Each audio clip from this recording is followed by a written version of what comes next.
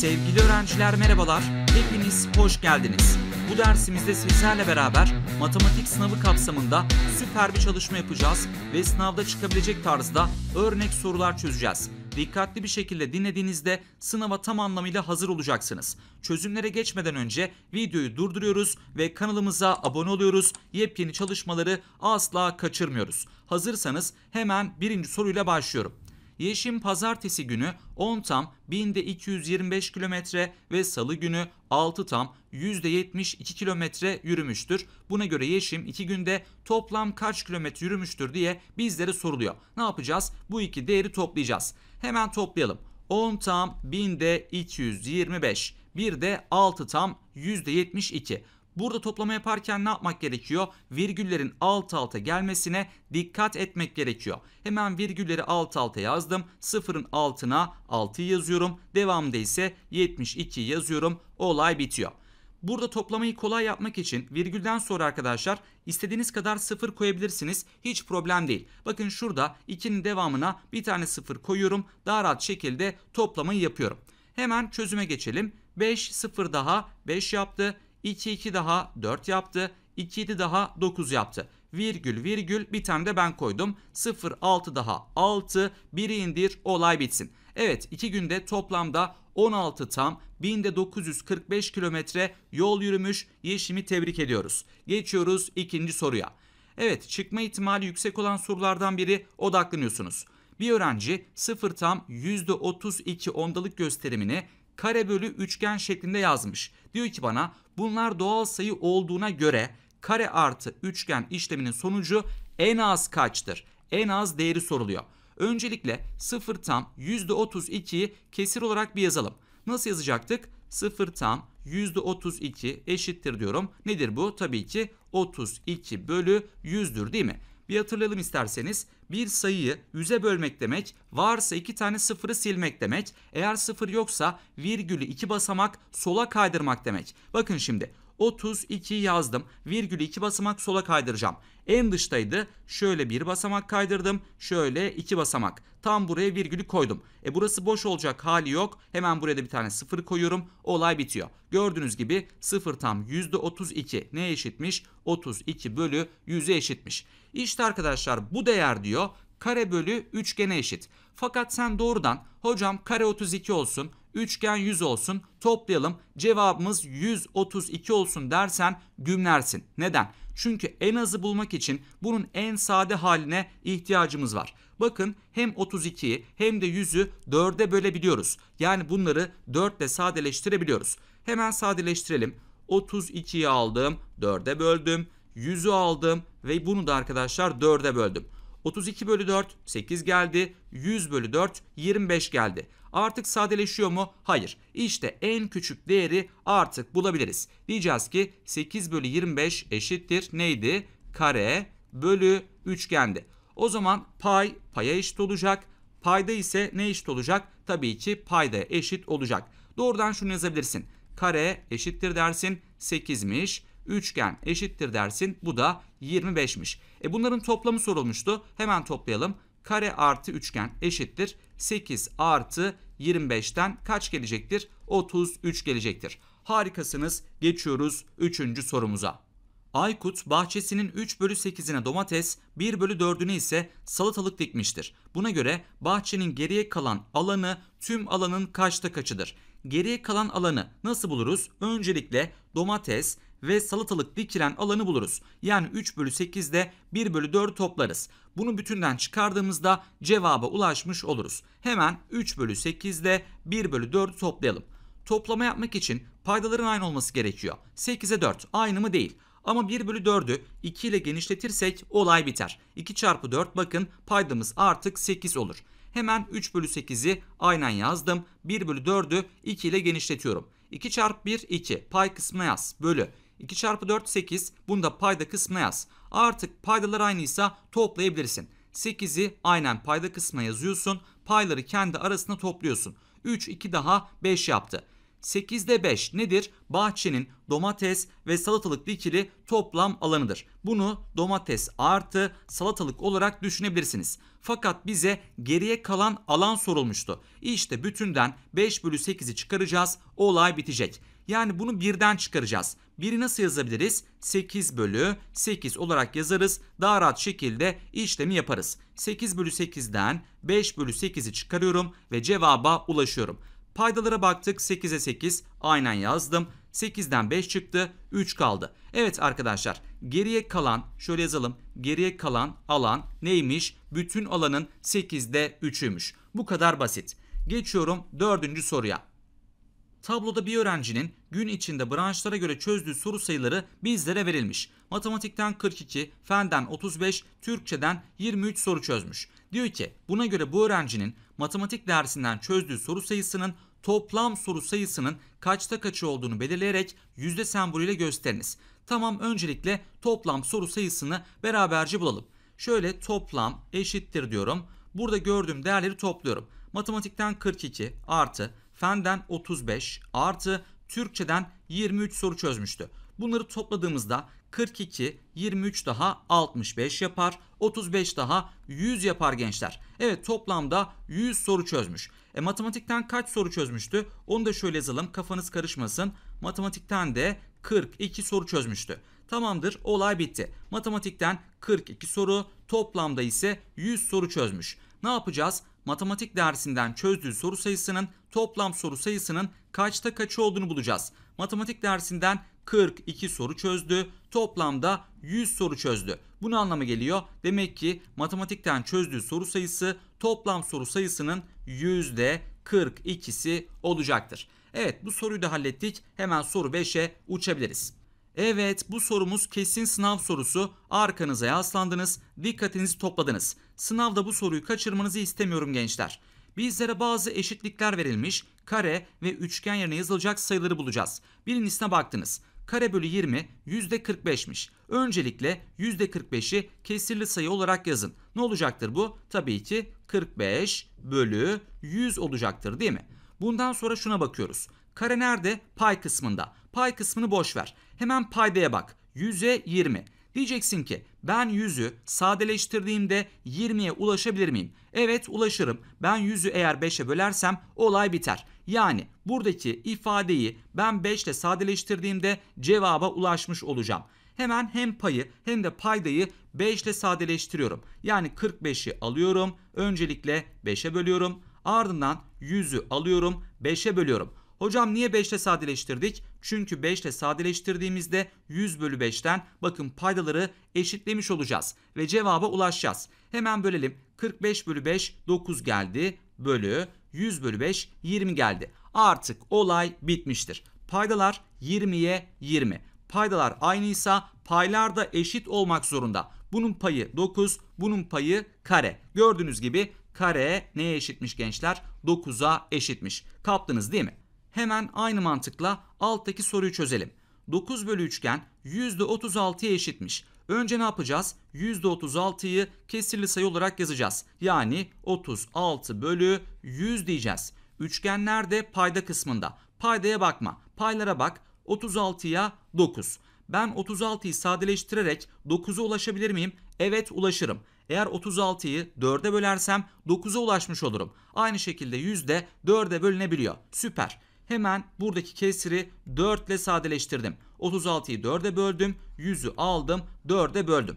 36 bölü 4 9 geldi. 100 bölü 4 25 geldi. Artık olay bitmiştir. Neden? Hemen gösterelim. Bakın 9'a 9. Paylar aynıysa paydalar da aynı olmak zorunda. Yani üçgen mecburen 25'e eşit olmak zorunda. Hemen yazıyorum. Demek ki üçgen neymiş? 25'miş. Buna da 25 yazıyorsunuz. Tam puanınızı kapıyorsunuz. Diğer soruya uçuyorsunuz. Bir müşteri mağazanın vitrininde gördüğü gömleği çok beğeniyor. Bu gömleği indirimli olarak satın alıyor. Buna göre müşteri gömleğe kaç TL ödeme yapmıştır diye bizlere soruluyor. Şimdi bu gömleğin etiket fiyatı 300 TL. Fakat %15 indirim var. Öncelikle indirim ne kadarmış bunu beraberce görelim. İndirim eşittir diyorum. İndirim eşittir. Nasıl bulacağız? 300'ü alacağız. %15'ini hesaplayacağız. Bir sayının %15'ini almak için önce 100'e bölüp bulduğunuz sonucu 15 ile çarpabilirsiniz. İsterseniz de önce 15 ile çarpıp sonra 100'e bölebilirsiniz. Sırası önemli değil. İşime geldiği için ben öncelikle 100'e bölmek istiyorum. Evet 300'ü aldık gençler 100'e böldük. Kaç gelecektir? 2 sıfırı uçurdunuz 3 geldi. Şimdi ne yapacağım? 3'ü alacağım 15 ile çarpacağım. Bu da 45 geldi. Demek ki indirim ne kadarmış? 45 TL'ymiş. Harika.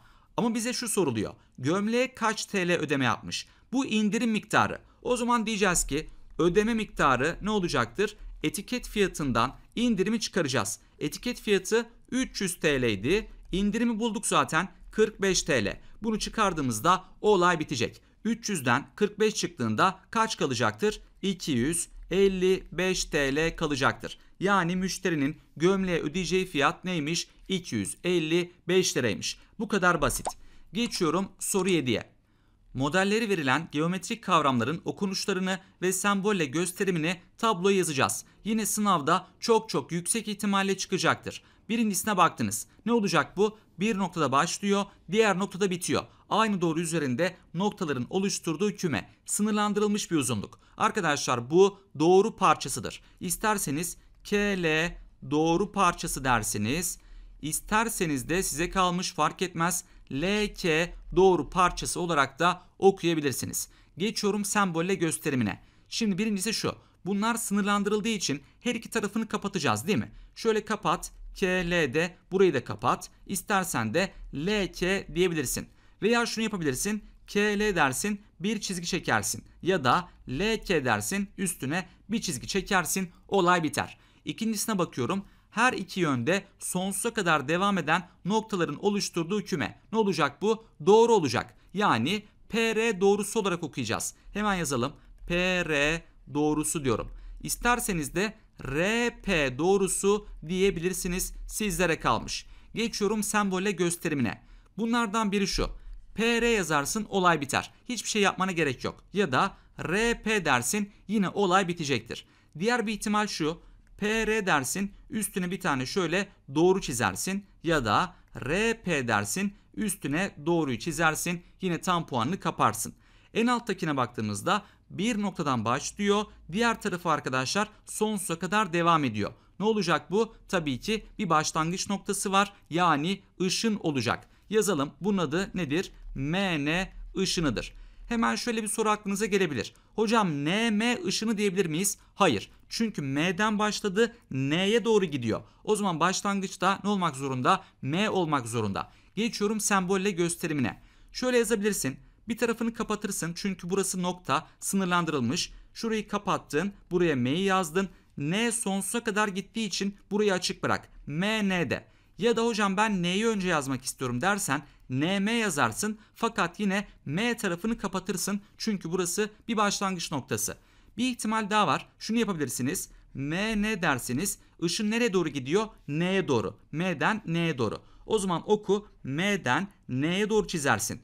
N'yi önce yazmak istiyorsan da yine oku ne yapacaksın? M'den N'ye doğru çizeceksin. Bakın burada dikkatli olunması gerekiyor. Burada puan kaçırmayalım. Evet tabloyu doldurduk. Hemen soru 8'e geçebiliriz. Bizlere 3 tane doğru verilmiş. PR, ST ve KL doğruları. Ne yapacağız? Bunlardan hangileri paralel, hangileri kesişen doğru? Teker teker bulacağız. Paralel doğru şu anlama geliyor. Asla kesişmeyen doğrular. Şöyle baktığımızda PR ile ST'nin asla kesişmeyeceğini söyleyebiliriz. Yani bunlar birbirine paraleldir. Hemen yazalım. PR doğrusu ile ST doğrusu nedir gençler? Paraleldir değil mi? Hemen paralel doğru olduğunu belirtmiş olalım. Peki hangileri kesişen? Bakın KL hem PR'yi kesiyor hem de ST'yi kesiyor. O zaman şunu söyleyebilirsin. KL ile PR aynı zamanda KL ile ST nedir? Bunlar da kesişen doğrulardır dersin. Tam puanını kaparsın. Hemen soru 9'a uçalım. KLM harflerine karşılık gelen ondalık gösterimleri bulacağız. Büyükten küçüğe doğru sıralayacağız. Sınavda çıkar mı? Çok yüksek ihtimalle çıkar. Hemen birincisine bakalım.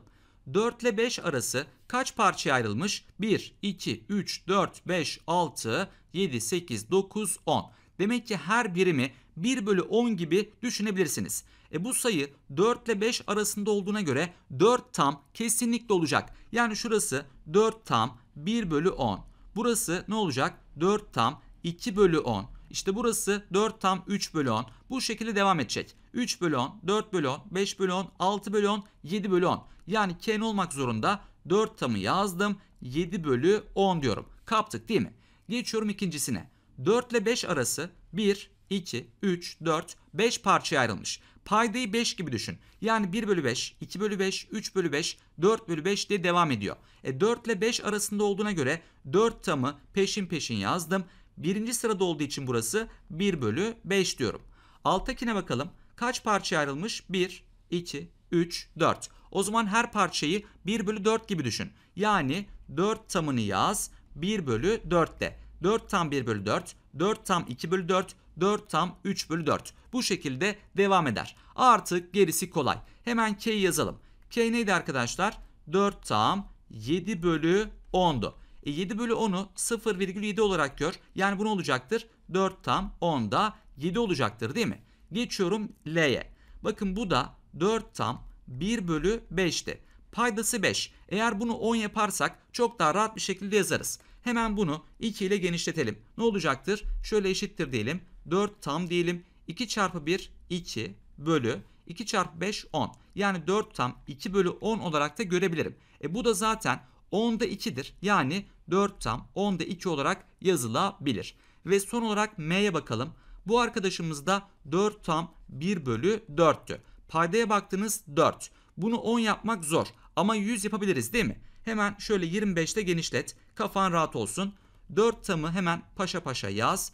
1 kere 25 25 pay kısmına 25 yazdım. Bölü 25 kere 4 100. Bunda payda yazıyoruz. Bu da arkadaşlar ne olacaktır? 4 tam yüzde 25 olacaktır. Şimdi ne yapıyoruz? Bunları sıralıyoruz. Kolay olması için virgülden sonra istediğimiz kadar sıfır koyabiliyorduk. Yani şuraya bir tane sıfır koyabilirsin. Aynı mantıkla buraya bir tane sıfır koyabilirsin. Sana kalmış. Hepsinde 4 tam var. Bunu salla. Bundan sonra ne görüyorsun? 70'i görüyorsun. Buna bak. 20'yi görüyorsun ve 25'i görüyorsun. 70 en büyük olduğuna göre K hepsinden büyük olacak. Ondan sonra 25'i gördün. M'yi getirdin. 20 en küçük olduğu için de en küçük L dersin. Olay biter. Problem var mı? Yok. Harikasınız. Gelsin yeni soru. PR doğru parçası ile eşit uzunlukta bir ST doğru parçası çizerek T noktasının S noktasına göre konumunu yazınız. Ne yapacağız? Bir ST doğru parçası çizeceğiz. PR ile aynı uzunlukta olacak. Öncelikle P'nin R'ye göre konumuna bakalım. Bakın arkadaşlar P noktası R'nin 1, 2, 3. 3 birim yukarısında. Şöyle sol tarafa doğru da 1, 2. 2 birim solunda. Aynı mantığı kullanabilirsiniz. Dersin ki S noktasından 3 birim yukarı gidiyorum. Şöyle 1, şöyle 2, şöyle 3. Ardından da 2 birim sola gidiyorum. Şöyle 1, şöyle 2. İşte gördüğünüz tam bu nokta ne olacaktır? Aradığımız T noktası olacaktır. Bu ikisini birleştirdiğimizde ise ST doğru parçasını elde etmiş olacağız. Evet bunun uzunluğu neye eşit olmak zorunda? PR'nin uzunluğuna eşit olmak zorunda. Şimdi sırada ne var arkadaşlar? T noktasının S'ye göre konumunun yazılması var. Ne diyeceğiz? T noktası diyeceğiz. T noktası S noktasının S noktasının neresinde? 3 birim yukarısında, 2 birim solunda. Bakın şurasını yukarı olarak düşünün. Burası aşağı yön, burası sağ taraf, burası ise ne olacaktır? Sol taraf olacaktır değil mi? Diyorum ki T noktası S noktasının 3 birim yukarısında, 3 birim yukarısında ve neresinde kalıyor? 2 birim, bakın burası 2 birim solunda kalıyor ve 2 birim solundadır. Bu kadar. Gayet kolay. 2 birim solundadır. Bu şekilde arkadaşlar ne yaptık aslında? Aynı uzunlukta iki tane doğru parçası çizmiş olduk. Bu yolu izlediğinizde asla soru kaçırmazsınız. Geçiyorum diğer soruya. Aşağıda verilen gösterimleri büyükten küçüğe doğru sıralayacağız. Tamam. %48'i nasıl yazabilirsiniz? 48 bölü 100 olarak yazabilirsiniz değil mi? Aynı mantıkla 0 tam %36. Nasıl yazabiliriz bunu? 36 bölü 100 olarak yazabiliriz. 2 bölü 5 bu şekilde işime gelmiyor. Paydası 100 olduğunda daha kolay sıralayabilirim. 5'i nasıl 100 yaparsın? 20 ile çarparak. O zaman bunu 20 ile genişletelim. İşimiz kolaylaşsın.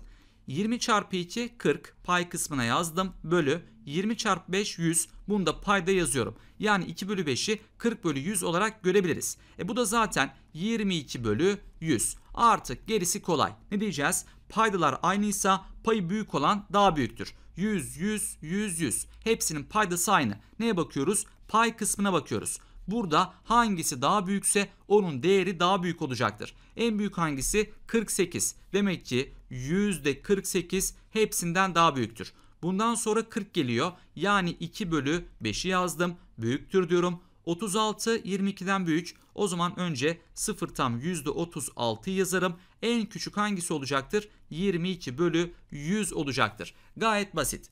Ve son sorumuza geçiyoruz. Güzel bir soruyla çalışmamızı noktalıyoruz. Kareli kağıt üzerinde verilen açıların çeşitlerini belirleyeceğiz. Altlarına yazacağız. 3 çeşit açımız vardı. Dik açı, dar açı ve geniş açı. Dik açı 90 dereceydi. Eğer açımız 90 dereceden küçükse dar açı oluyordu. Eğer 90 dereceden daha büyükse geniş açı diyorduk.